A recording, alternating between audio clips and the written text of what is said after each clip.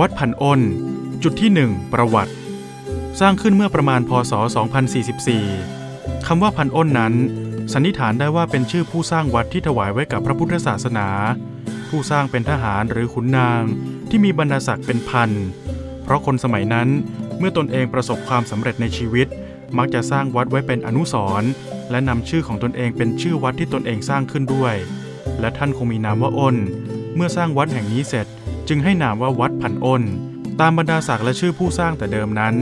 มีวัดอยู่สองวัดคือวัดพันอ้น และมีวัดข้างเคียงวัดหนึ่งชื่อว่าวัดเจดีควัน ซึ่งเป็นวัดเล็กๆ อยู่ทางทิศตะวันตกของวัดพันอ้น จนถึงปีพศ 2474 เจ้าแก้วนวรัตเจ้าผู้ครองนครเชียงใหม่องค์ที่ 9 องค์สุดท้าย คณะสงฆ์สมัยนั้นได้พิจารณาเห็นว่า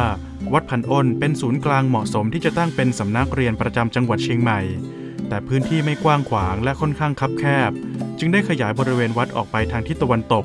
ซึ่งเป็นที่ของวัดเจดีควัน ซึ่งตอนนั้นเป็นวัดร้าง ส่วนเจดีควันปัจจุบันนี้ สภาพของเจดีไม่ปรากฏให้เห็น เพราะในปีพศ 2498 ได้รื้อเจดีออกแล้ว และสร้างศาลาการประเรียนแทน ซึ่งปัจจุบันปรากฏให้เห็นเพียงหลุมเจดีเท่านั้น เมื่อทั้งสองวัดได้รวมเป็นวัดเดียวกัน จึงเรียกว่าวัดเจดีควันพันอ้น แต่คนทั่วไปมักจะเรียกง่าย ๆ ว่า วัดพันอ้น